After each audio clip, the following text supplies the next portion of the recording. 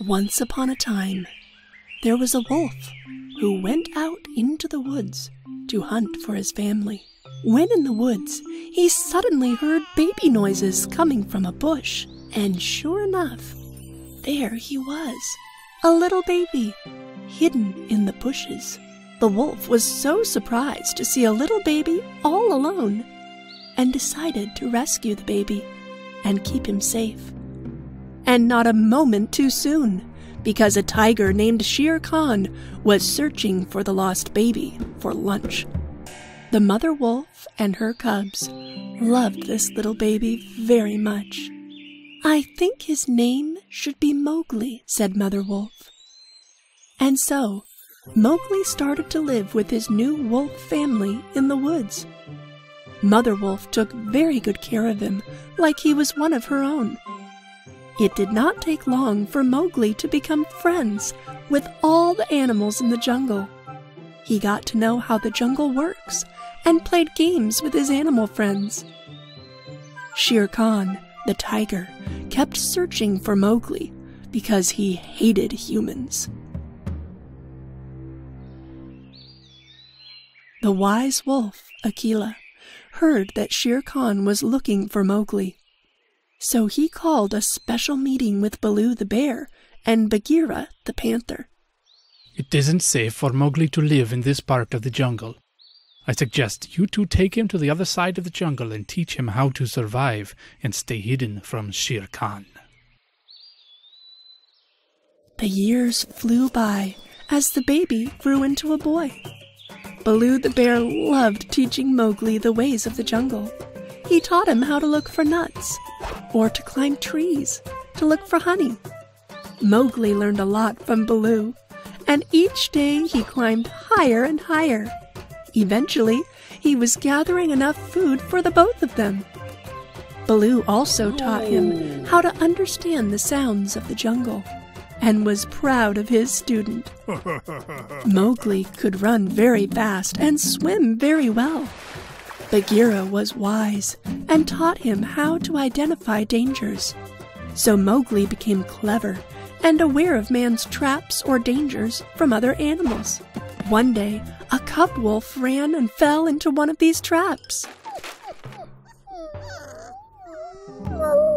Shere Khan the tiger heard the cub and came after him, ready for lunch.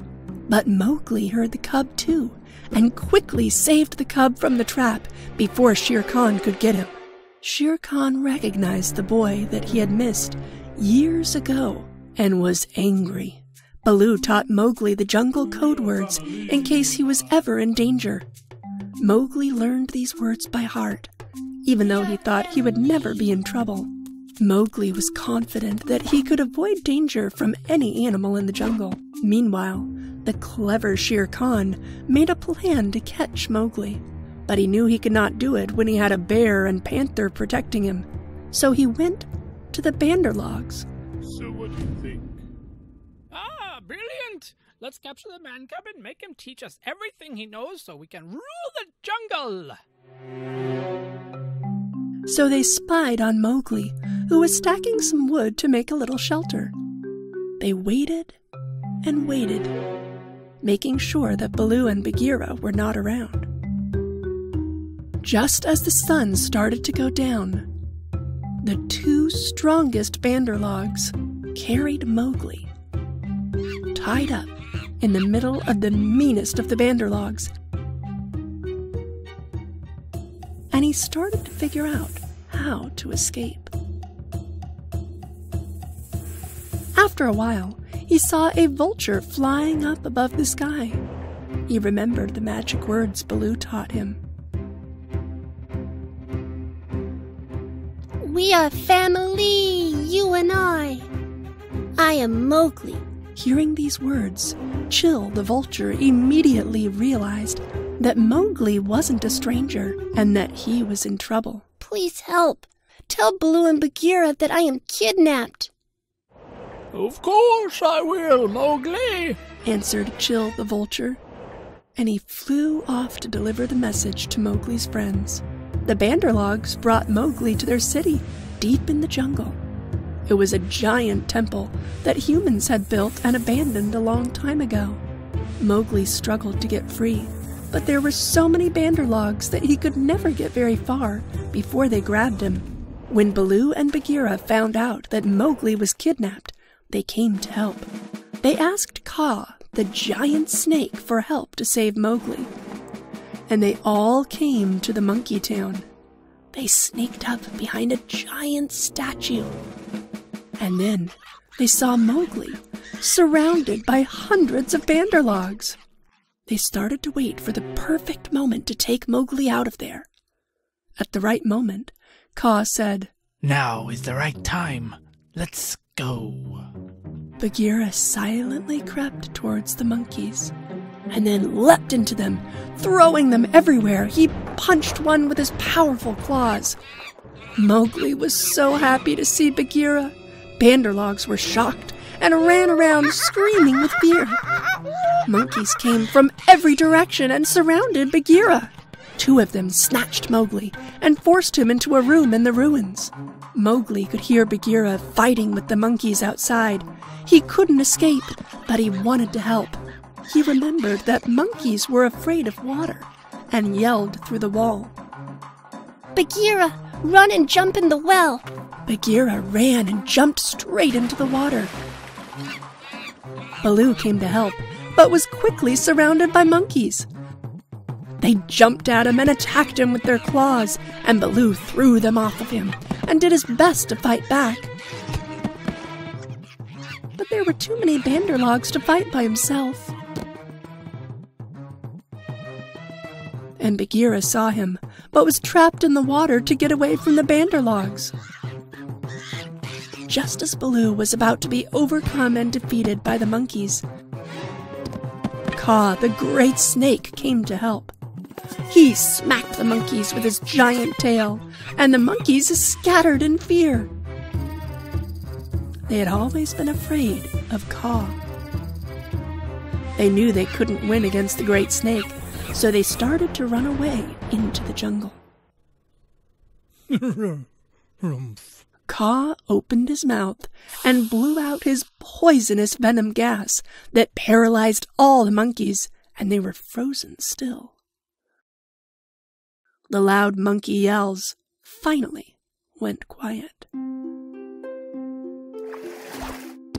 Mowgli! Mowgli yelled through a hole in the wall. I'm here, trapped in the tower. Kaa swung his mighty tail and managed to break the walls of the tower. Freed from his prison, Mowgli leapt out to his friends. Baloo gave him a huge bear hug. Mowgli. You guys saved me. I was so scared. You risked your lives. Thank you so much for coming after me. Mowgli was also very happy to see the great snake on his side. I love you guys. Thank you so much, Kaa. Mowgli, Baloo, and Bagheera said goodbye to Kaa and headed home. Shere Khan watched everything and realized that his plan had failed. He knew that as long as Mowgli and his friends stuck together, he could never win. Defeated, he decided it would be best if he left their jungle forever. Mowgli had many other adventures, and when he grew into a young man, he took a long trip to the humans' village, and there was a woman who recognized him. She realized that it was her son, who had been taken by Shere Khan long ago. She showed Mowgli her youngest son. Mowgli was surprised because the little boy's face looked just like he did when he was little. He realized that this little boy was his brother, and the lady was his mother. Baloo, Bagheera, and Kaa were all watching From now across the on, you'll be with your real family, Mowgli. Whenever you need us. You know the special jungle code words. You are our brother. Don't forget how much we love you, dear Mowgli. Mowgli loved his jungle family. Goodbye, dear Mowgli. He lived happily ever after with his human family. But never did he forget his good friends, in the jungle.